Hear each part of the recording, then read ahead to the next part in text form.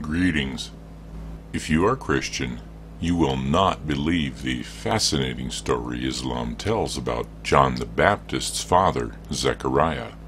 And if you are Muslim, I invite you to listen in to hear the truth and why no Christian could buy Islam's fantasy. In part 3, I read the entire account from Luke, and there are several things Islam, or more precisely, the author of the Quran, gets wrong. This is important because Islam claims to respect John as a prophet, but the author of the Quran demonstrates a real ignorance of the details that prove John is important. On top of that, Islam claims John's father is a prophet. John's father, Zechariah. And that is only one of many details Islam changes or screws up. Although technically it is the author of the Quran that has screwed up. First, the tiny detail. The account by Luke, which has many details, records Zechariah being mute for at least nine months. We know Zechariah lost his voice when he doubted Angel Gabriel's message of a son. That was before his wife had even become pregnant. Then we see he is mute until his son John was born. That was after a visit at six months by Mary, the still virgin mother of Jesus. Then, three months later, the baby was born, and the neighbors wanted to call the boy Zechariah. So we have a nine month timeline established by two methods two sequential events at six months and then three months, and the normal human gestation period of nine months. And Zechariah did not speak that entire time. That would be unusual at a minimum, and potentially miraculous to not speak for nine whole months. Then we get to the Quran's story, relayed by the author of the Quran. Surah 335.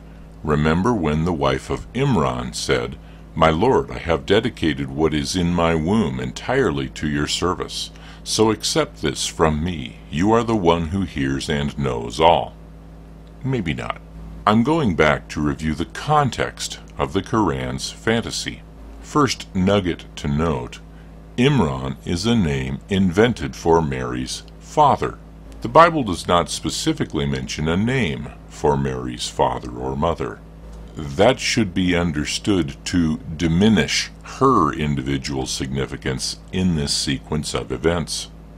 Remember when the wife of Imran said, My Lord, I have dedicated what is in my womb entirely to your service.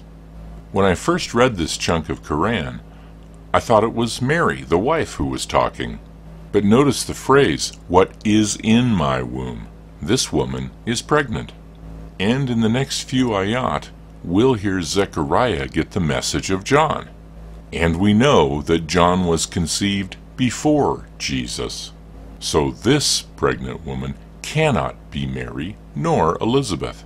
My Lord, I have dedicated what is in my womb entirely to your service. But this woman appears to be dedicating her child. When she was delivered, she said, O my Lord, behold, I am delivered of a female child. And Allah knew best what she brought forth, and no wise is the male like the female. Excellent. Allah can distinguish between male and female. The female must be the sex that does not produce semen between her ribs and back. I have named her Mary, and I commend her and her offspring to thy protection from the evil one, the rejected. See what else we have learned from reading the Koran. Satan has a new name, the rejected.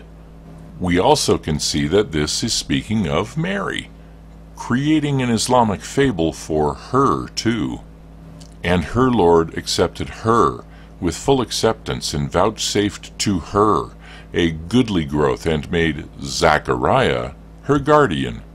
So part of Islam's fable is that Zechariah was the guardian of Mary. not her father, Imran, or her mother, who was mentioned earlier.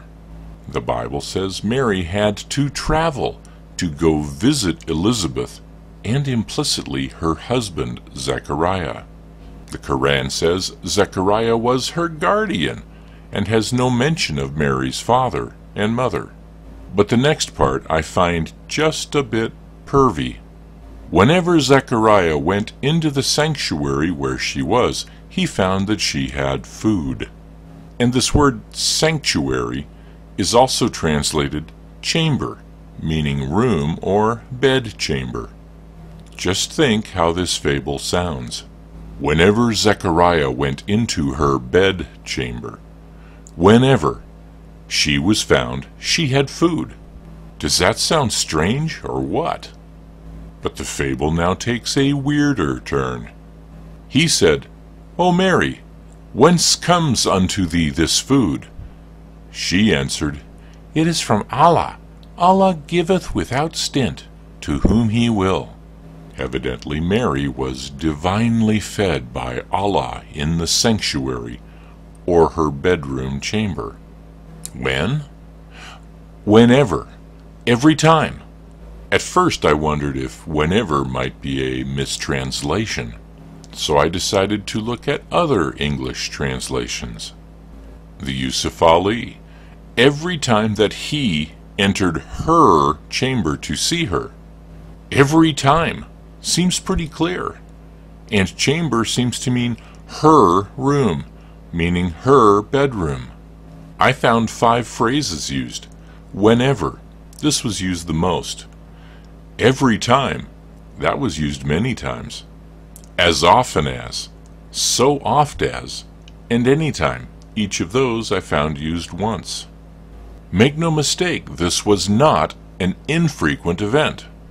The Quran does not say, rarely, but occasionally, or one particular time, or once during Ramadan.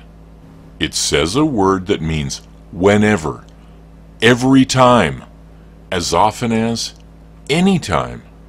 I am not making this up. This is exactly what the Quran says in its story of Mary. He found her supplied with sustenance.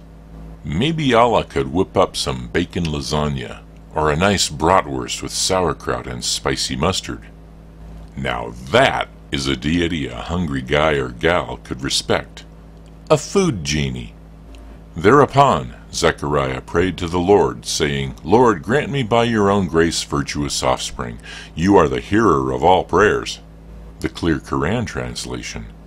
Then and there Zechariah prayed to his Lord, saying, My Lord, grant me, by your grace, righteous offspring. You are certainly the hearer of all prayers. The Daryabadi. Forthwith Zechariah prayed unto his Lord, My Lord, bestow on me from thine presence a goodly offspring. Verily, thou, thou art the hearer of prayer. So now we see when does Zechariah pray? Thereupon, then and there, forthwith. A rational reader would draw the conclusion he prayed right after hearing Mary tell of Allah her food gopher. Think about that. Every time he finds her with magic food from Allah. But for some reason, only this time did he finally ask, Where are you getting all this food I always find you with in your chamber? And her answer triggers him to spontaneously pray for a child. As he stood praying in the chamber, the angels called out to him, saying, Allah gives you the good news of John, who shall confirm the word of Allah, and shall be outstanding among men, and utterly chaste, and a prophet from among the righteous. Well, there you go. Still in the chamber where Mary had had her alafel, rhymes with falafel. But this is so random and confused. Chamber as in bedchamber or sanctuary as in church. If bedchamber, this has nothing to do with priestly duties. If sanctuary, as in church or synagogue, Mary always ate at church, having food binges from Allah? This makes no sense at any level. I have to admit, I'm on a voyage of discovery of this stuffage. I was only going to point out Islam confuses John's father Zechariah with Prophet Zechariah, who lived 500 years earlier. But let's trudge on through the rest of this fantasy. As he stood praying in the chamber, the angels called out to him, saying, Allah gives you the good news of John, who will confirm the word of Allahi, and shall be outstanding among men, and utterly chaste, and a prophet from among the righteous. Notice, angels, plural. That's wrong. Notice anonymous angels, not named. That's wrong. The Bible says one angel introducing himself as Gabriel appeared to Zechariah. The Quran says angels without names appeared to Zechariah as he prayed after finding Mary binging at the Allah buffet. Zechariah exclaimed, My Lord, how can I have a son when I am very old and my wife is barren?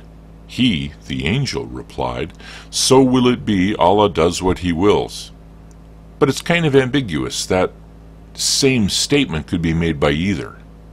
Notice, though, the sense of the question is wrong from the original count.